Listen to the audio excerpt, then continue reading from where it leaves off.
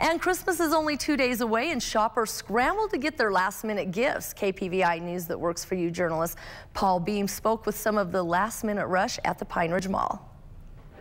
The Pine Ridge Mall was packed wall to wall this weekend for last minute shopping. Super Saturday is many shoppers' last chance to grab the gifts they're looking for. Well, i got a couple more things I need to find, but you know, it just takes a little time to do it with a person not with you. The kids' clothes and toys. The stress of holiday shopping amplifies as you hit that Christmas deadline.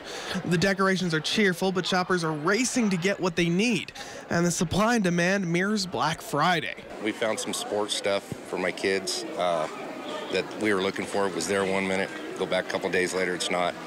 So just trying to find it. It'll be here after Christmas, but not right now. Just trying to get to where you need to go in a hurry without following the big line. Yeah, but it's just fun. It takes a lot of time, but it's worth it. But the weekend isn't as stressful for sellers. Retailers across the country are estimated to have brought in about $26 billion in sales on Saturday alone.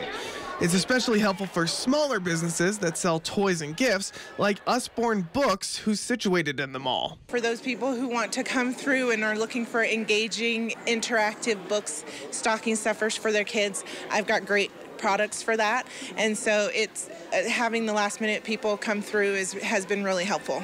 Reporting from Pocatello, I'm Paul Beam, KPVI News that works for you. While some of the shoppers were stressing to get their gifts, one shopper who was a little more relaxed claimed they weren't quite last minute just yet.